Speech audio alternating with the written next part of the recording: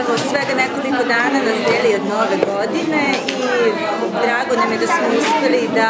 sve mališane prečkinske ustavičaka i ova zmaju prirodu, nekoliko stotina njih opravdujemo evo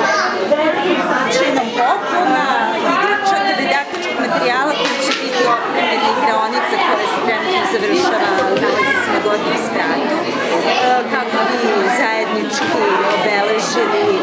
ovu prazničnu sezonu, organizovana je novogodišnja radionica, ovde vidimo roditelje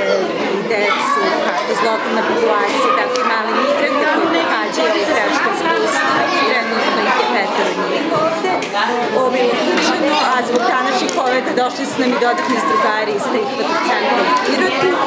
evo kako se zajedno druže, kako ove, prave novogodišnje ukrase, ovde se nalazi jedna lepa novogodišnja jelka koju ćemo na kraju ove, okititi njihovim korinama, a umeđu vremenu ove, isti pridružit ćemo se i Deda Mraz. E,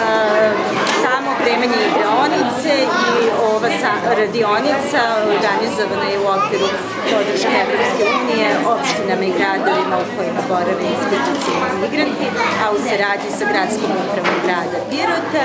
i sa naravno stručnim timom i direktorom Jova